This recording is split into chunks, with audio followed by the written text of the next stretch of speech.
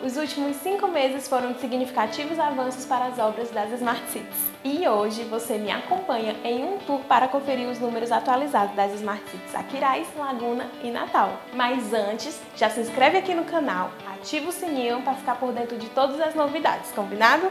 Agora vem comigo!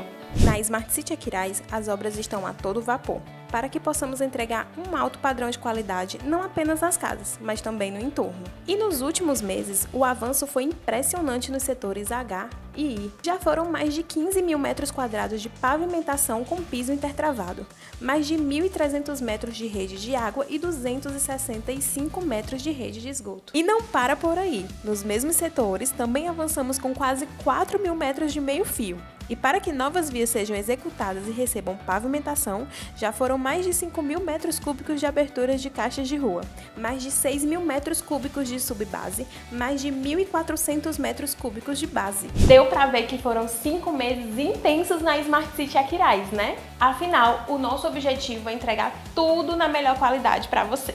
E agora a gente vai dar um pulinho lá na Smart City Laguna para te mostrar como andam as obras por lá. Por aqui, as obras continuam avançando e seguimos comprometidos a entregar a melhor infraestrutura. Por isso, nos últimos meses, o setor 7 ganhou mais de 3.300 metros quadrados de pavimentação, contra quase mil metros quadrados no setor 9. Fora isso, também no setor 7, mais de 1.600 metros de rede de água foram instalados. Acha que acabou os avanços nesse setor? Ainda não. Também instalamos mais de mil metros de meio-fio, mais de 3.700 metros cúbicos de aberturas de caixas de rua, mais de 1.400 metros cúbicos de subbase e mais de 600 metros cúbicos de base. Tudo para garantir aquelas ruas bonitas que você já bem conhece. Agora nós vamos um pouquinho mais longe, lá na Smart City Natal. Deixa eu mostrar como está ficando a cidade inteligente Potiguar.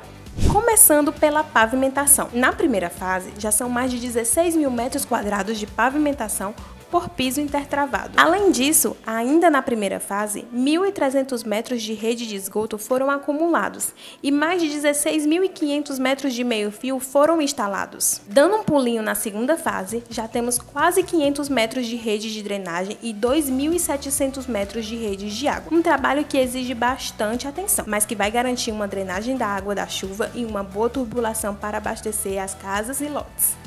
E é isso. Se você quer continuar por dentro de tudo que está acontecendo nas Smart Cities, é só acompanhar a Planet nas redes sociais. Os links eles estão na descrição do vídeo. E se você ficou com alguma dúvida, é só deixar seu comentário aqui embaixo. A qualquer momento eu volto com mais um vídeo de atualização de obras. Até lá!